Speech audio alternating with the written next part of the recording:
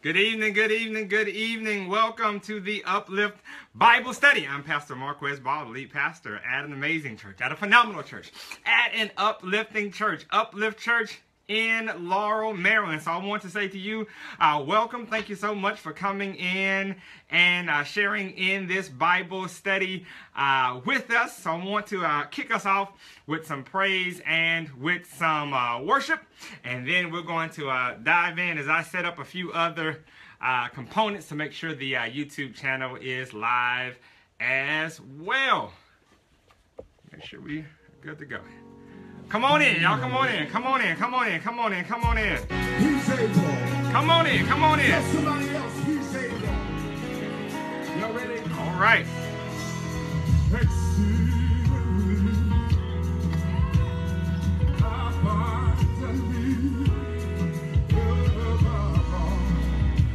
Come on in.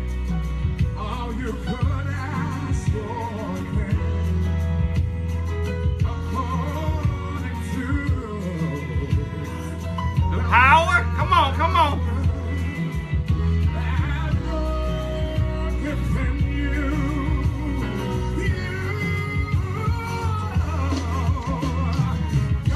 Come on, come on, come on.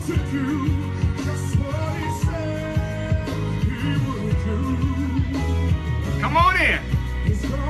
Welcome to the Uplift Bible Study. Y'all come on, come on.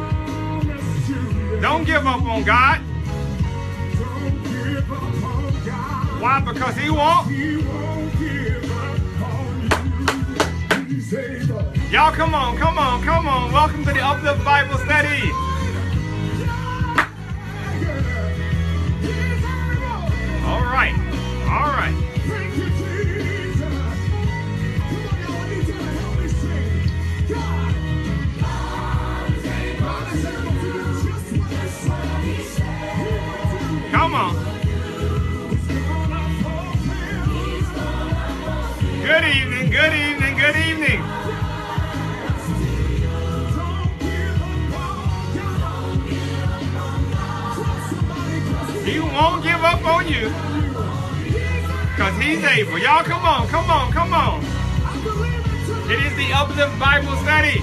I'm looking forward to sharing this time with you.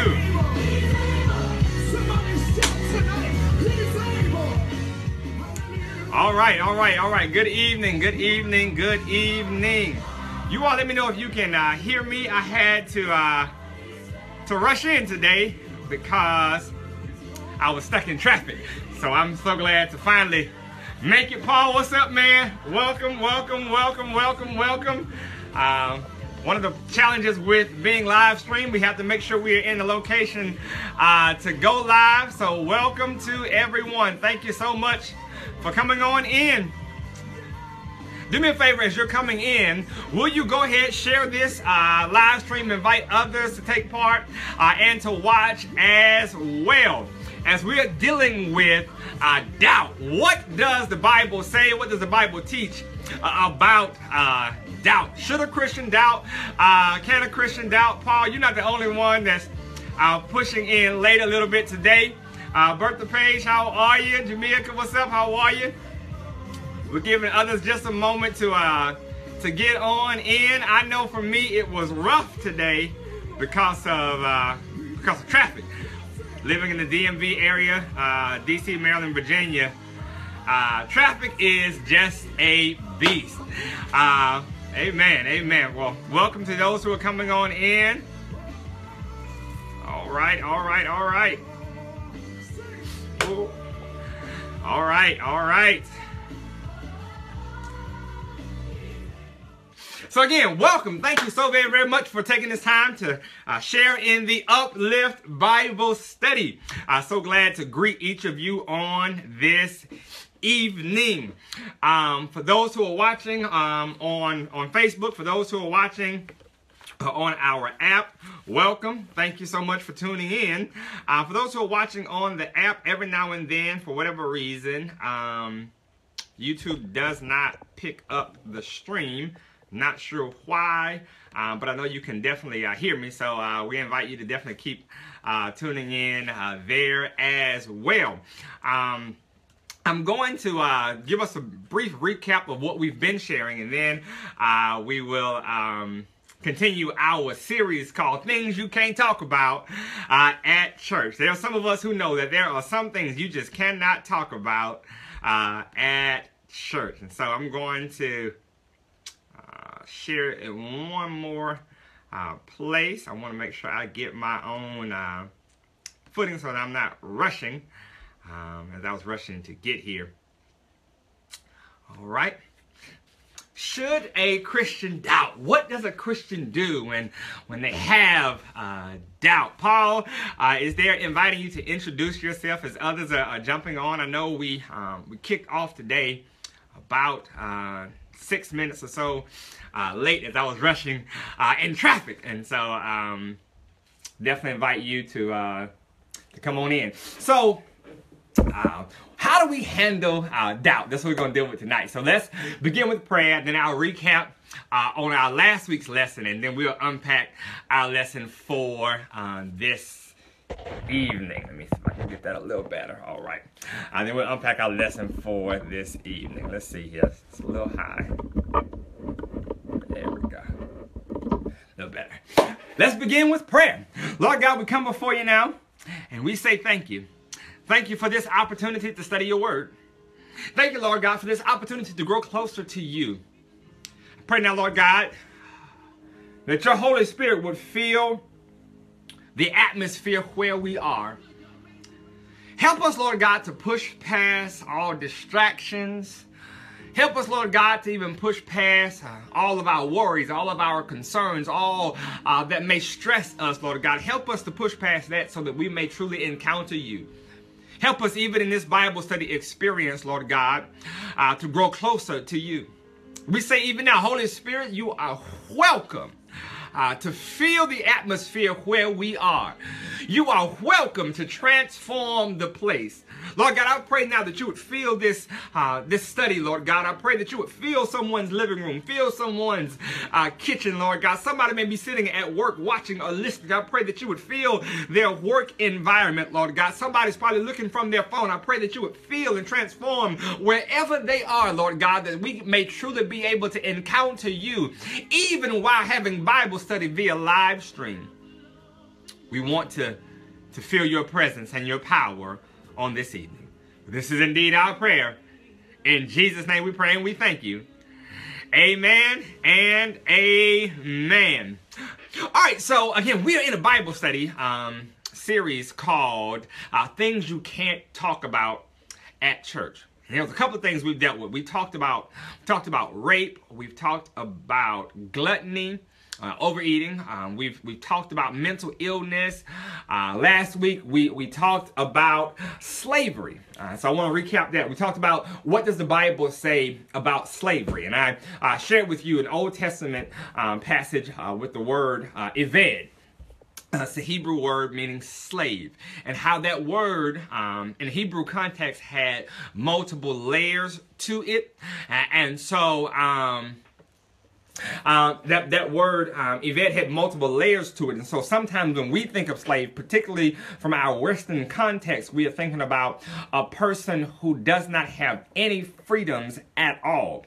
Uh, however, in the Hebrew context, it talked about the year of Jubilee and how in the seventh year uh, that slaves had to go free and uh, whatever debt they may have had, someone may have been working off a debt uh, was to be totally canceled. That was one uh, understanding of the Hebrew context. Then there's others where it was a person who in essence was enslaved, but the word used was simply slave. You could work um, to get something that you wanted. Um, so we looked at that, but then we jumped to the New Testament passages where Paul talks about slave obey your master and trying to figure out, well, what did Paul mean? I shared that Paul um, was one who would, who would have studied the Hebrew context and how uh, his understanding of slave would have been very much uh, shaped from his religious context. And so we uh, we dealt with that um, on last week, but then talked about how uh, in the 1600 uh, version, 1611 version of the King James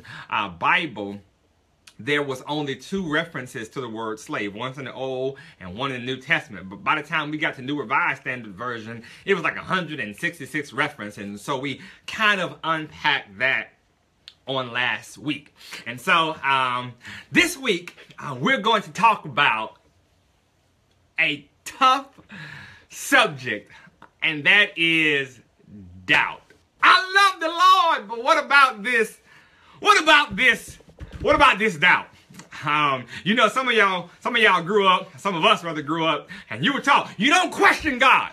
So if you got doubt, you the one with the problem. It's your fault. Uh, you haven't matured enough. Uh, yeah, what up, uh, Pastor Kellogg, man? Thank you for, for tuning in. And so we want to unpack uh, this understanding of doubt. So I want you to do me a favor, right? Um, those who are coming on in, uh, if you grew up where you've heard the phrase like, uh, don't question God.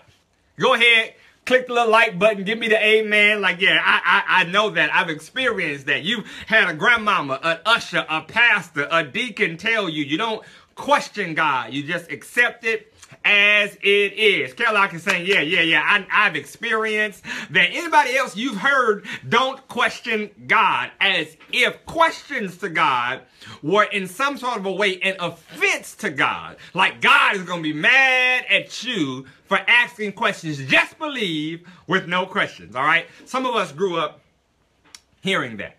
So tonight, I want to help us as Christians, as believers, deal with the fact that we go to church regularly, sing gospel songs regularly, but there are times when we have doubt. So what do we what do we say about that? How do we deal with that?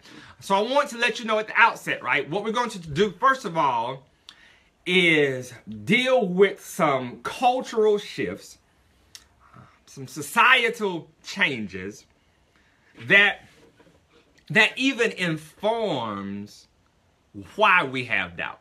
Okay, so I want to help us to do that. Then I'm going to give us some biblical examples of doubt. And then we're going to unpack one particular scenario. So I want you to know now. I'm going to, Paul is going to uh, hopefully give you all some of, well, Paul, you can post uh, most of it as I'm going through it, as we talk about some of these cultural shifts. 18th century 19th 20th century to 21st century how we got to where we are. And maybe some things impact you and you don't even know it's impacting you. Maybe some of the doubt you have is because of the era within which we live era so i want us to help us to to get um some of that. So i want to deal with um terms that will help us place doubt and Christianity in perspective, okay? There was once a time, and I, I didn't live in this time, but uh, part of me wonder what it would have been like. There was once a time when theology, theology is a big word that simply means the study of God. Uh, theo, uh, meaning Godology, study of, uh, the study of God, the study of God was the king uh, in academic society. So if you went to Oxford or, or Cambridge or even Princeton, these schools were really founded to help you study God. Um, it was when when theology, a person who got a master's of divinity or doctorate uh, in, in divinity or PhD uh, in theology was like the man. It would have been primarily the man at the time. You were, you were it. You helped shape society. Now, eh, get online, you know, put in, you know, I want a degree in theology.com. And you, I mean, it ain't rocket science now. People just get paper mill degrees. But there was once a time when you were um, viewed as someone that was on a high level because the study of God was important. Okay, um, that was then. Now, you know, if you're a scientist, you're the man, you're the woman. If you, you know, a computer programmer, you're the man, you're the woman. Science has now taken over as, in essence, the king in academic circles. And so I want us to see how we got there and how that informs our Christian perspectives as well as our doubt. Okay? Um, so for one, uh, we have to look at uh, what's called the Enlightenment period, Enlightenment era. 18th century. Uh, it was an enlightened, an intelligent movement, an intellectual movement uh, which dominated the world of ideas in Europe in the 18th century because before then they were in a uh, medieval or medieval uh, time, a medieval era. Uh, so the Enlightenment came about, and that included um, a lot of ideas centered on reason. Okay. Matter of fact, let's, let's see. Uh, have a little fun. Let's see if I can grab one. Uh, oh, here we go. Let's see. Uh, you had someone like Immanuel Kant. Uh, religion within the limits of reason alone. So um, this was the the Enlightenment uh, era. The Enlightenment was was marked by an emphasis on the scientific method. If I cannot reason it to be factual, then it is a problem. It was a method of reductionism. What is the simplest form we can get to? That was the Enlightenment period, and during that time, religion became something to question. Orthodox religion uh, was under the microscope during the Enlightenment time, okay? From there, that was the 18th century.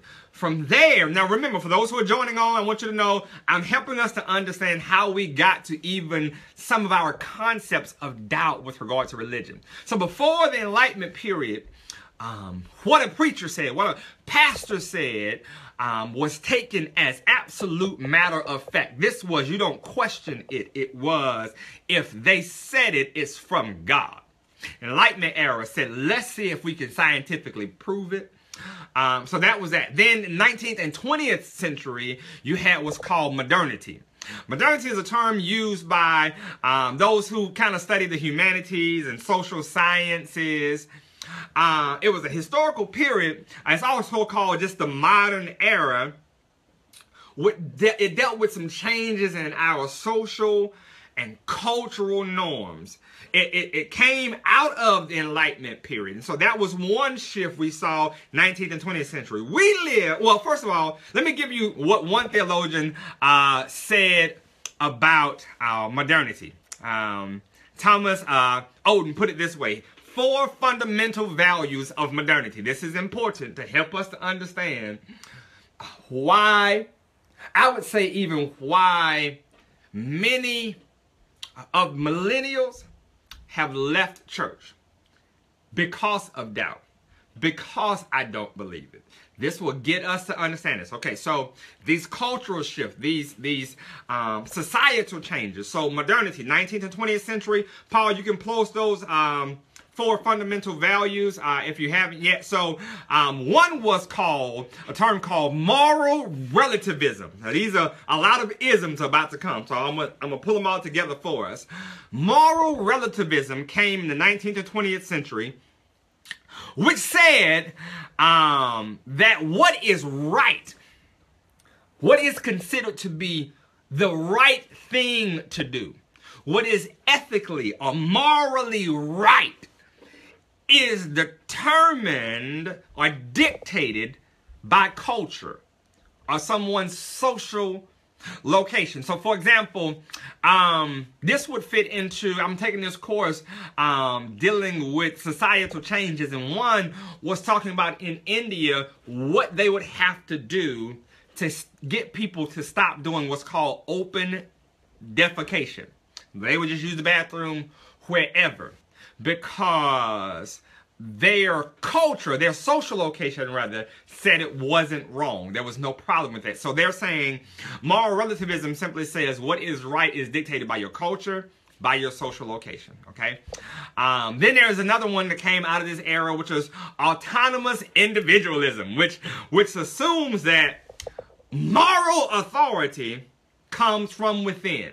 I, I am my own moral authority. I, in and of myself, determine what is right and what is wrong. It does not come from anyone else, okay?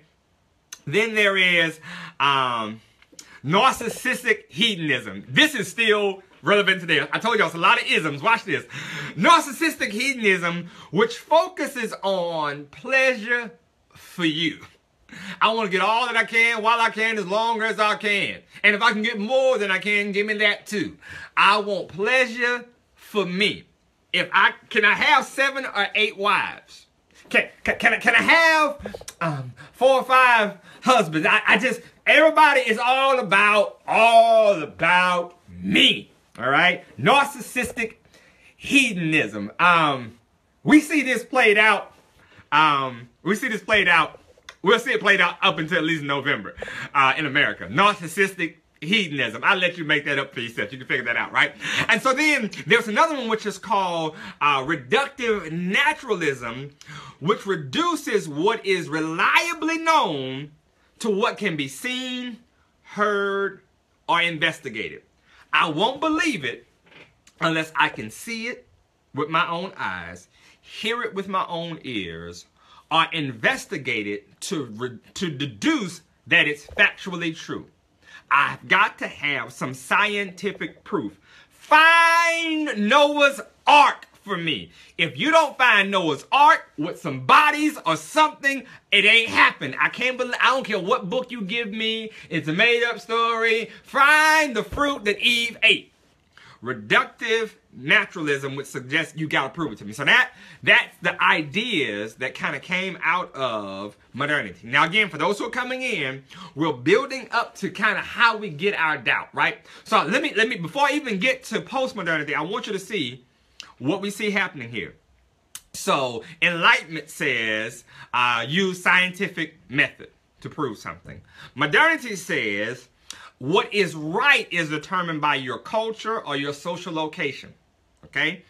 Um, nat- no, narcissistic hedonism. Do something that's going to please you. It's all about you. Okay? Then we get to post-modernity, which is what um, um, social psychologists or what have you, or uh, sociologists would say we're living in now.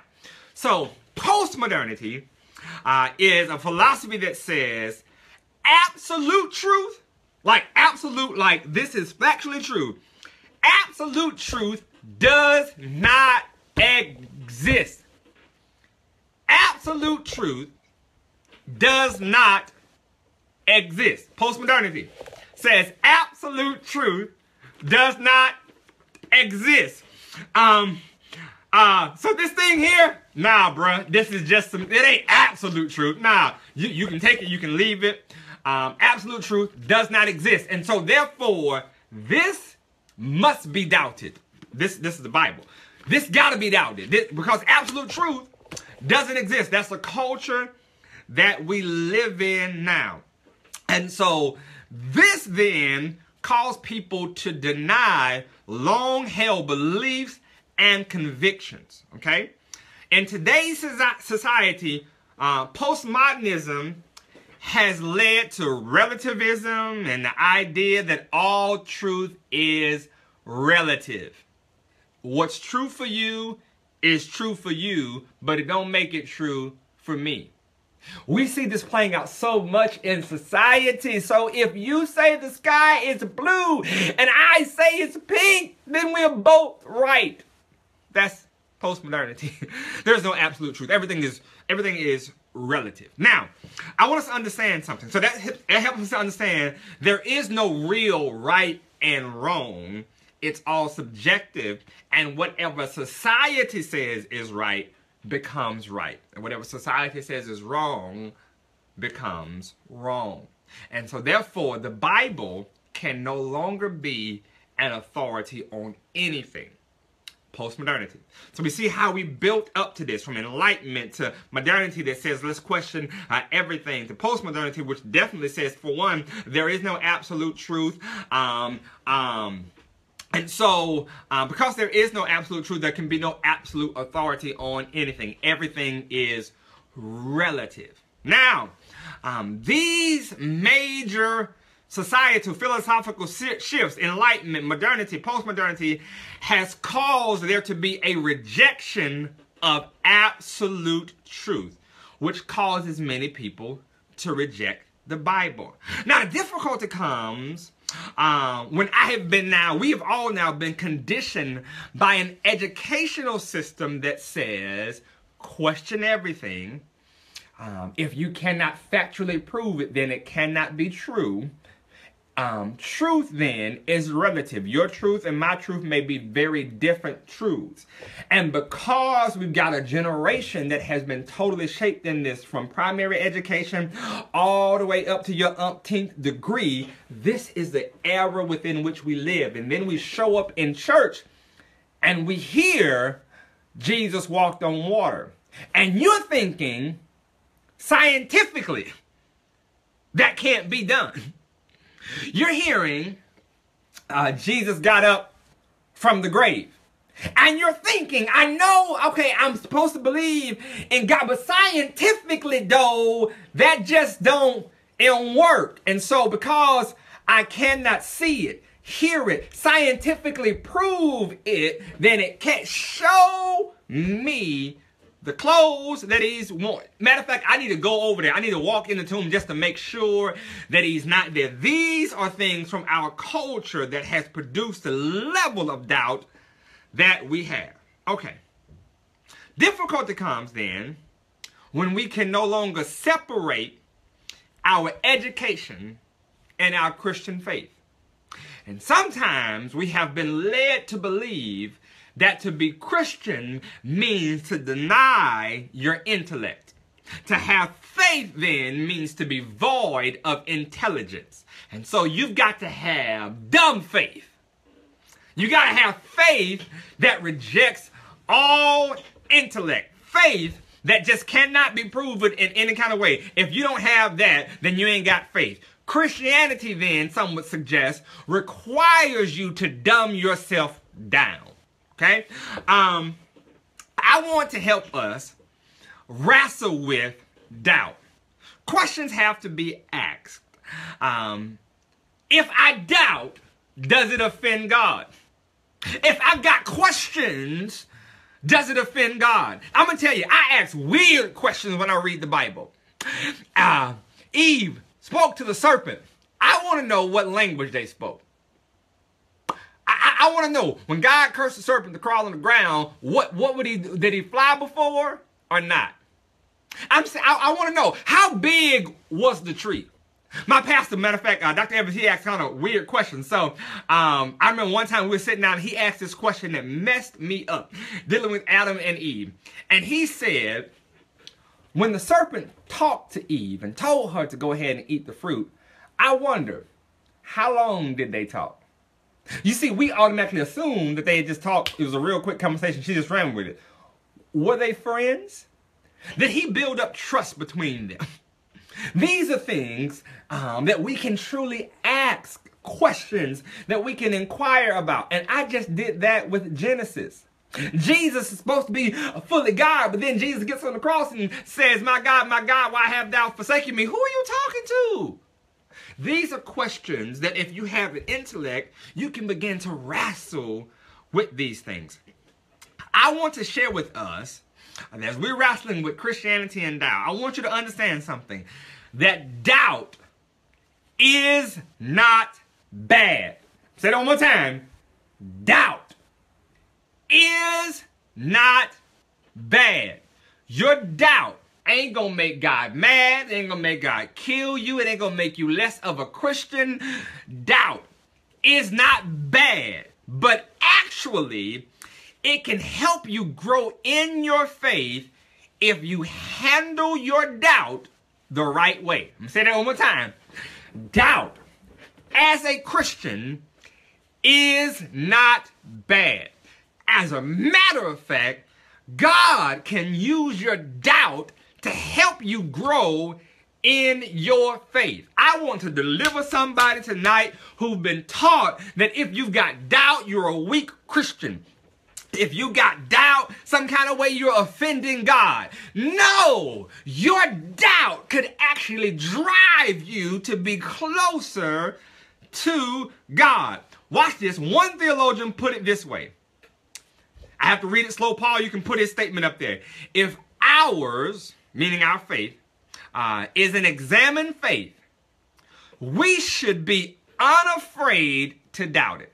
He says this if doubt is eventually justified, we were believing what clearly was not worth believing.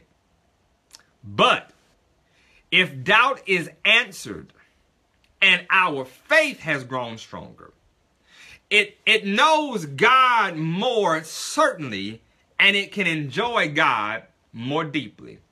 When you have gone on a journey to find something and you find it, oh my God, the rejoicing. Doubt then becomes a quest for you to find out more. That's what it does, as long as you allow it to do that.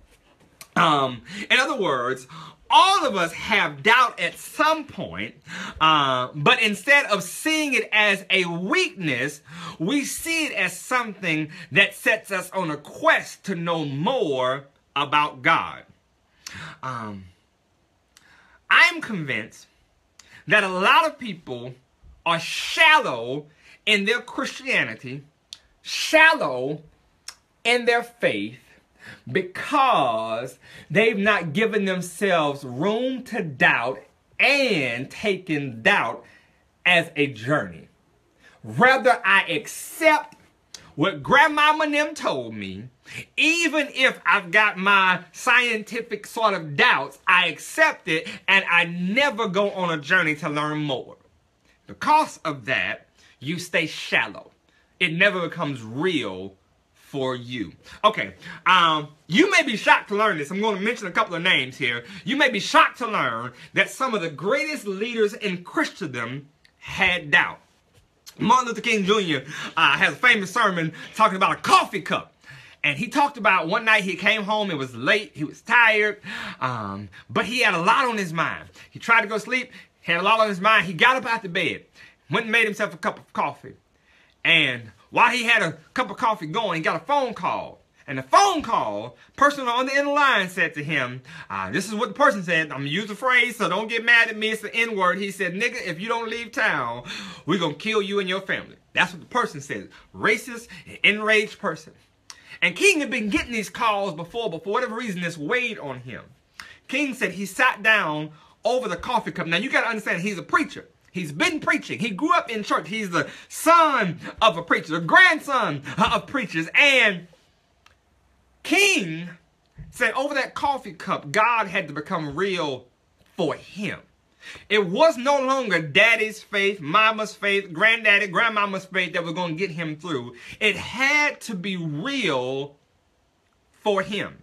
So in other words, matter of fact, um, when I said Dr. King, man, I, I found out all kind of stuff about even when he first got ordained and what he believed about uh, Christ's immaculate conception and what he believed about the resurrection. He was on a journey. This is why he studied theology and got a PhD in it. He had questions and he sought to answer them.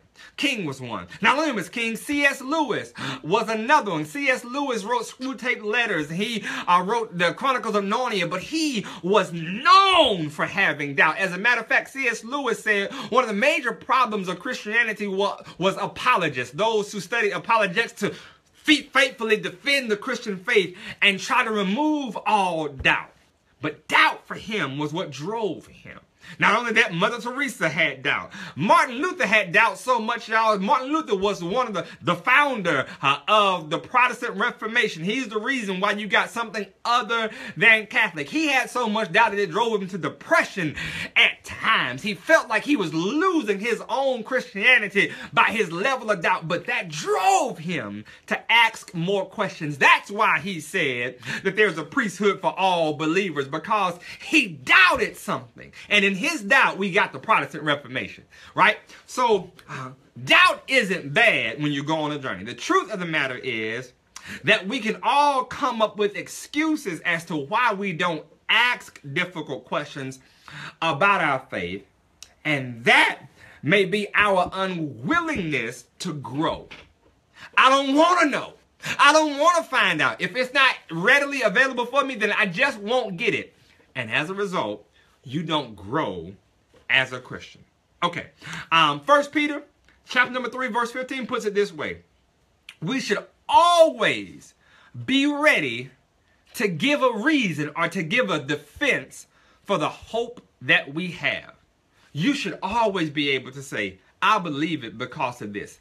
Not because of grandmama and them. Not, not because I just grew up in church, but because I've sought God for myself. That's what helps me to believe. So let's look at a couple of biblical examples about doubt. I'm going to unpack one, then we'll be uh, we'll be through. I'm already like, wow. I mean, like, okay. So uh, let's look at a couple of examples. Genesis chapter number 17. Genesis chapter number 17. Before I go into um, those, are there any questions? Are there any questions so far? Paul, thank you so much for for sharing. Um, Paul is an amazing, faithful brother. Uh, questions? Luther challenged the Catholic Church. Uh, said, yes, absolutely, Margie. Um, Luther was amazing. Uh, and Luther was just on a major quest to learn more about God. Um, and he was not willing to accept, but just someone just handed to him. He took his doubt, and that became a journey for him, a lifelong journey for him. All right? Any other questions, questions, comments, concerns, real quick before I dive into some scriptural passages? Questions, comments, concerns? All right. So let's look at Genesis chapter number 17, verses uh, 15 through 21. Now this is dealing with, with uh, my boy, Abram. Abraham. Abraham. Genesis chapter number 17, verses 15 through 21. It says, then God said to Abraham, As for Sarai, your wife, you shall not call her Sarai, but Sarah shall be her name. I will bless her, and indeed I will give you a son by her. Then I will bless her, and she shall be a mother of nations. Kings of people will come from her. Verse 17 says, Then Abraham, y'all, I need you to picture this. God has said, Abram, Abraham, I'm going to bless you. You're going to have a child. Matter of fact, your wife is going uh, to give birth to multiple nations. Kings will come from her. Verse 17 says, Then Abraham fell on his face and laughed. God is speaking to him and Abraham doesn't chuckle. Abraham doesn't just laugh. Abraham goes as far as falling on his face laughing. Bro, you got jokes, God. This is Abraham. Verse 17. Abraham fell on his face and laughed and said in his heart, Will a child be born to a man 100 years old? And will Sarah, who is 90 years old, bear a child? God, this don't make no sense. I got doubt. I don't believe that. Verse 17. Verse 18 says, And Abram said to God, Oh, that Ishmael might live before you. But God said, No, Sarah. No, but Sarah, your wife, will bear you a son, and you shall call his name Isaac and I will establish my covenant with him for an everlasting covenant for his descendants after him. I'm going to stop right there. I want you to see how Abraham, father of the faith, Abraham, who believed and it was credited to him as faith, Hebrew says, Abraham fell on his face laughing at God when God told him what he was going to do. Have you been there before when God shared something with you that seems so absolutely, totally, completely, and utterly outrageous that you would just fall on your face laughing because it made no sense? So Brother Abraham is. Chapter number 18, Sarah hears it and Sarah laughs because she just know this don't make no sense. Let's look at John chapter number 20. Let's jump over to the New Testament. John, chapter number 20, verses 24 through 29. John, chapter number 20, verses 24 through 29. This is one of my, this is, this is the famous one here. Uh, y'all know this story. John chapter number 20, verse 24 to 29. Y'all know this story. As a matter of fact, brother got his nickname for doubting. He says, but Thomas, I, I, this is critical. but Thomas, who is Thomas? One of the 12. The brother that was a disciple who was with Jesus. That dude, Thomas, one of the 12, called Didymus, was not with them when Jesus came. So the other disciples were saying to him, We have seen the Lord. But he said to them, Unless I see. But he said to them, Unless I see his hands the imprints of the nails and put my fingers in the place of the nails and put my hand into his side, I will not believe. After eight days, his disciples were again inside, and Thomas with them. Jesus came, uh, the doors having been shut. It talks about, in essence, Jesus kind of walking through with the doors shut. Now, I need, I need y'all, I need y'all to picture this. Okay, they're in the room, doors shut. Bam! Jesus shows up. All right. Um. So clearly something is unique about this situation. That ain't enough to Thomas though. Um. So after eight days, his disciples were again inside, and Thomas was with them. Jesus came, the doors having been shut, and stood in their midst and said, "Peace be with you." Then he said to Thomas, "Reach here with your finger, and see my hands, and reach here with your hand, and put it into my side, and do not be unbelieving." but believing. Thomas answered and said to him, My Lord and my God. Jesus said to him, Because you have seen me, you have believed. Blessed are they who did not see and yet believe. All right. Um, one more, James, chapter number one, verses five through eight, because now this is gonna mess you up a little bit. James, right, let's just go to Mark, chapter number nine, chapter, chapter number nine, verse twenty-four. Mark, chapter number nine, verse number twenty-four. Let's do that one. My time is winding down. I still got to unpack a passage of scripture for you. Mark chapter number 9. Mark chapter number 9, verse number 24. Another famous one. It is. Verse number 24 says, let's start with verse number 23. And Jesus said to him, If you can, all things are possible to him who believes. Immediately, the boy's father cried out and said, I do believe. Help my unbelief. Okay. Um, these are just some passage of scripture that shows some portions of doubt in the Bible. There's another one, Luke chapter number 7. This is why I want to kind of hang my hat. Luke chapter number 7, verses 18 through 23. We're going to unpack that. Luke chapter number 7, verses 18 through 23. Luke chapter number 7, verses 18 through 23. Here's what it says. The disciples of John reported to him all these things. Summoning two of his disciples, John sent them to the Lord, meaning Jesus, saying, Are you the expected one, or do we look for someone else? When the men came to him, they said, John the Baptist has sent us to you to ask, Are you the expected one, or do we look for someone else? The very time, he cured many people of diseases and afflictions and evil spirits, and he gave sight to many who were blind, and he answered and said to them, Go and report to John what you have seen and heard. The blind receive sight, the lame walk, the lepers are cleansed, and the deaf hear. The dead are raised up. The poor have the gospel preached to them. Blessed is he who does not take offense to me. All right, now, let me unpack uh, this a little bit, right? Because this is interesting. Um, John the Baptist, Jesus' cousin, baptized Jesus. Before he baptized him, he talked about there's one coming whose sandals I'm not even worthy uh, to untie. Jesus comes.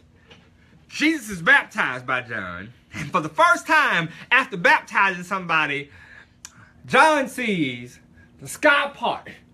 John sees dove float down. And John hears, This is my beloved Son, in whom I am well pleased. Okay. Uh, there's word about Jesus healing people and opening blinded eyes and casting out. This ain't never been done before. And John sends people to say, Is it you?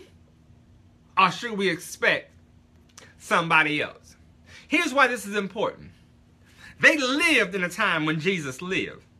They were able to experience the transformations that were happening in people's lives. They were able to experience the eye openings. They were able to experience people get healed because of Jesus. At the time, John is in jail. John hears these reports and still has to send somebody to check.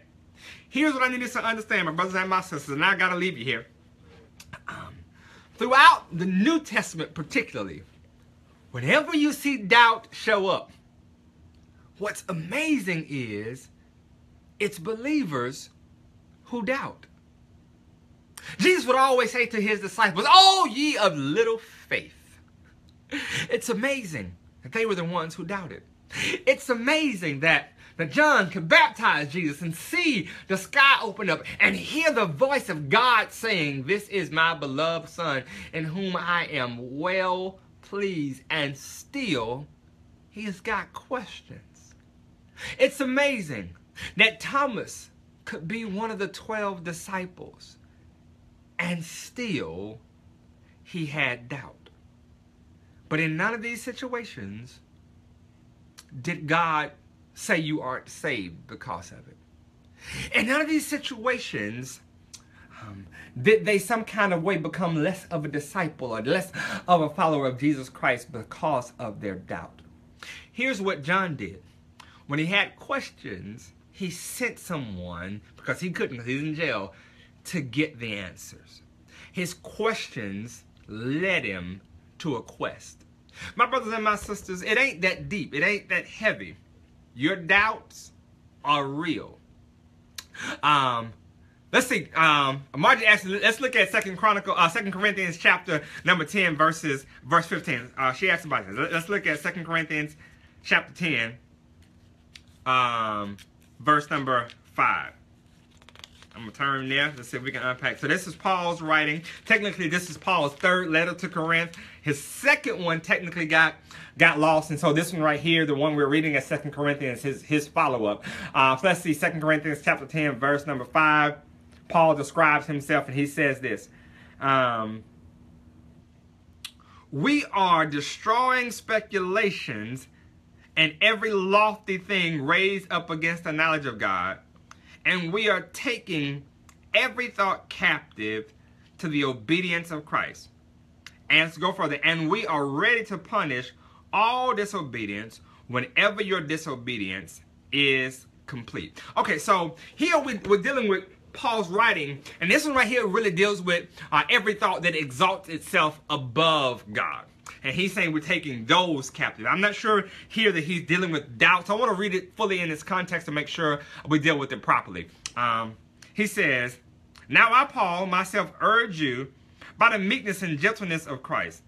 I, who am meek when face to face with you, but bold toward you when absent. He's, in other words, he's talking about when I'm not with y'all, I write real strong.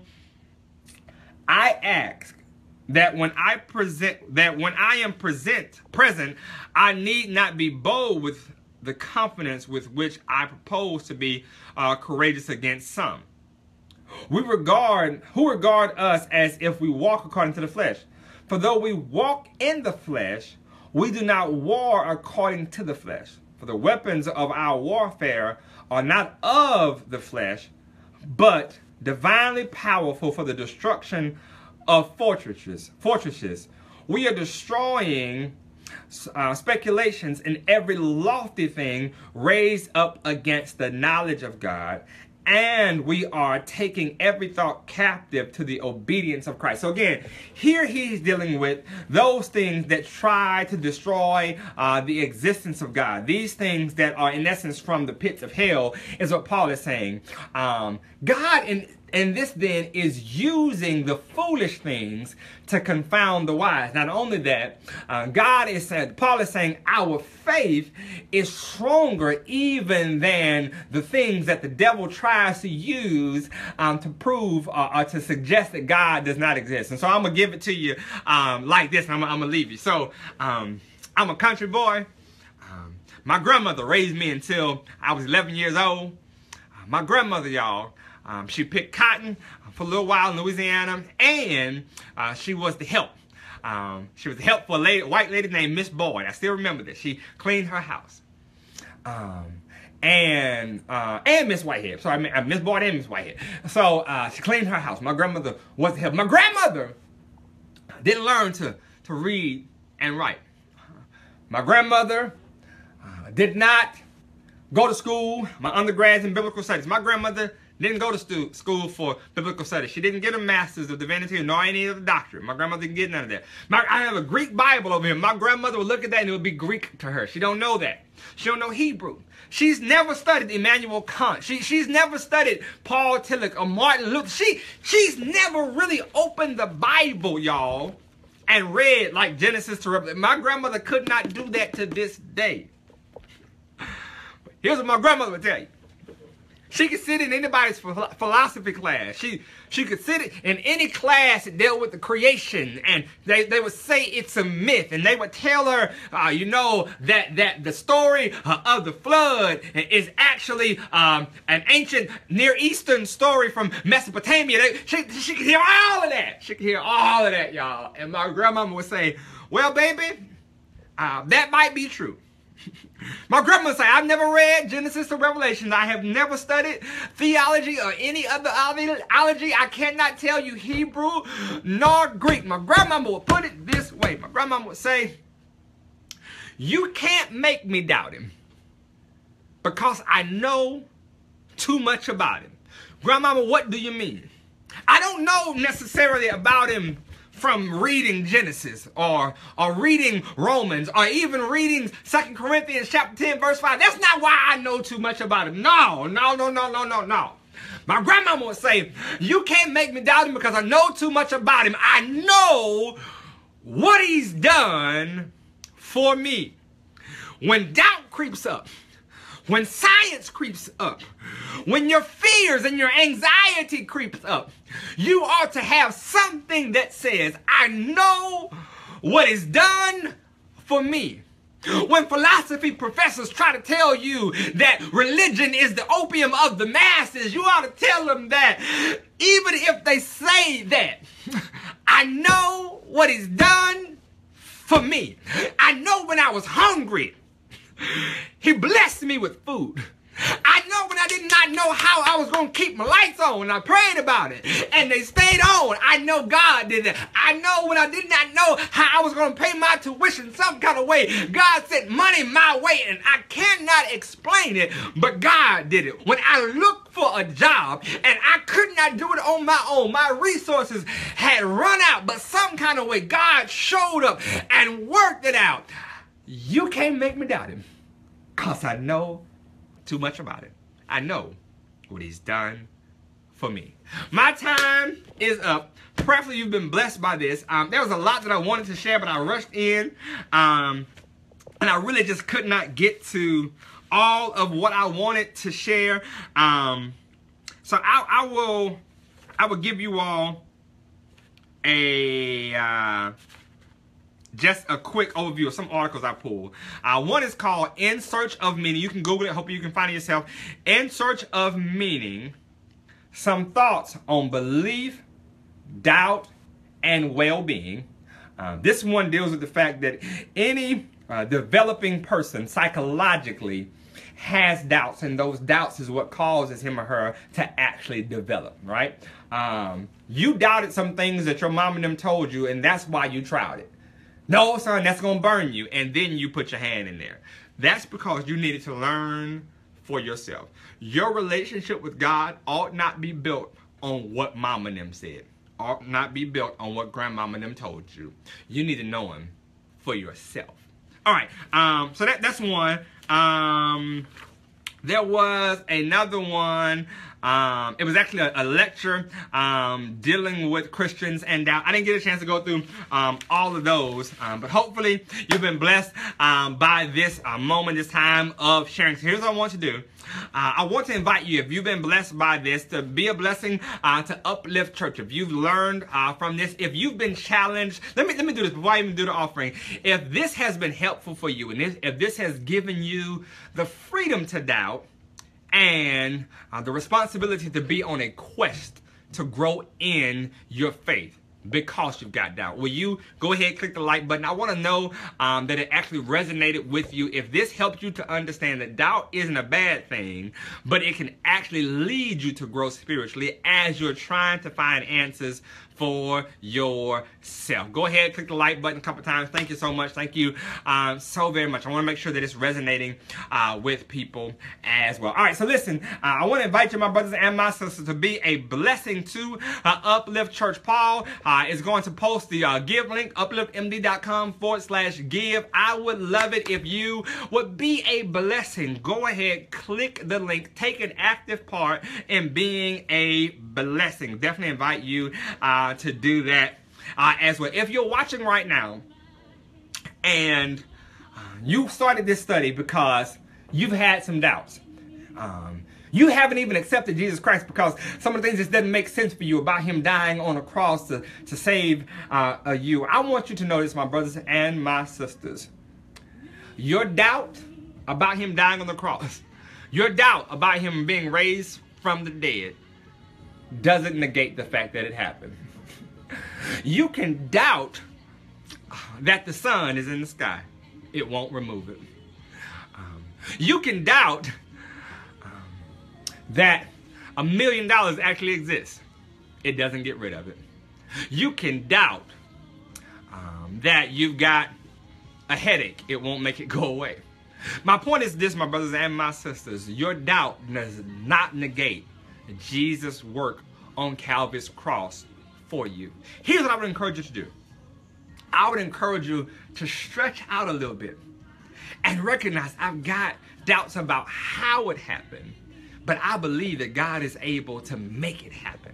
That's you, my brother, my sister, and you've never accepted Christ as your personal Lord and Savior because for your own little scientific mind that has been shaped and molded by postmodernity that you just could not conceive of the fact that somebody would do this for somebody like you, that he would die for you, I want you to know, my brothers and my sisters, even with postmodernity, it does not get rid of the fact that he loved you enough to die for you.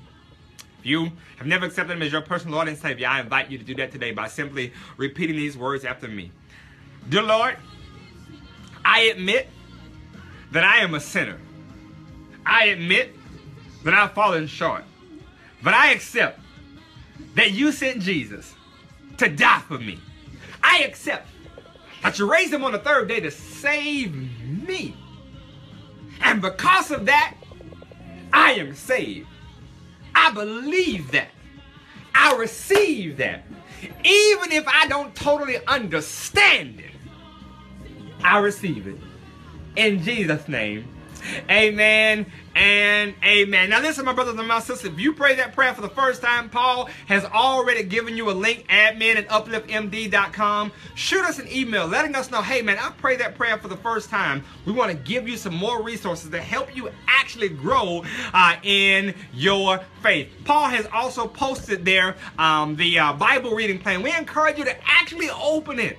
Read it. Go on a journey to learn more about God. Then maybe you're watching and you came in with some doubts and you felt uncomfortable because you had doubts. I want you to know this, my brothers and my sisters. If God cannot handle your doubts, He's not God. Your doubts, your, your questions do not scare God. He can handle them. So go ahead and ask them. Go ahead and be on a search to find them out. Ask questions about the text. For example, Peter walking on water. How far did he walk? That's a good one. I, I, I, I want to preach that. Some preacher you may be watching. How far did he walk? This is amazing. Did he, did he take 15 steps on the water and then began to sink? You know why that's important? Because the question has to be asked. Did he swim back or when Jesus pulled him up, did he walk back? Ha! Even after falling down, I still walk on water again. Listen, we can ask questions, y'all. This is okay. All right. Um, so I want to pray if if um you came in with some doubts, I want to pray for you as well that you would see doubts as an opportunity for you to ask questions of God, to go on a journey that would deepen uh, your faith, that would deepen uh, your relationship with God. Lord God, we come before you and we we say thank you that you cause all things to work together for our good, that you can take our doubts. You can take our unanswered questions and set us on a journey. And in that journey, Lord God, we learn more about you. We learn more about your attributes. We learn more about your love. We, we learn more about your righteousness and your justice. Lord God, help us to be believers that are not shallow by simply accepting what somebody else has said about you. But Lord God, help us uh, to be like the people uh, in Samaria after the woman at the well came and said, Come see a man that's told me all that I've ever done. Their response became, We believe now, not because of what you have said, but because we've seen and heard with our own eyes. Help us to have that kind of testimony that our relationship with you is not built on what someone else says, but it's built on our quest to know you more. Lord, we love you, we praise you, and we thank you. In Jesus' name. Amen and amen. My brother, my sister, I pray uh, that you have been uh, blessed by uh, that experience. Um, so listen, we go out with a little bit of praise, a little bit of worship. Uh, so let's have some fun. Listen.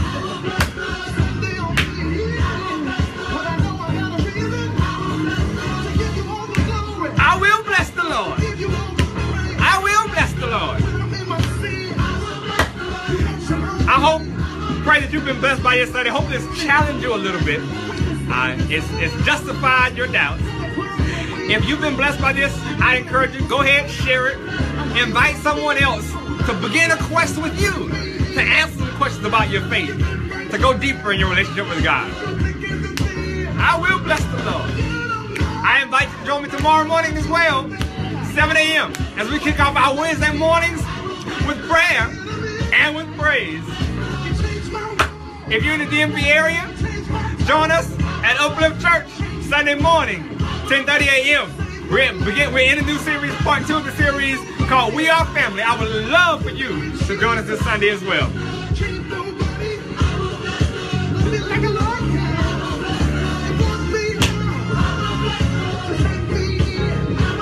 God bless you. Until next week. Peace. Paul, thank you, man. You're awesome. Please.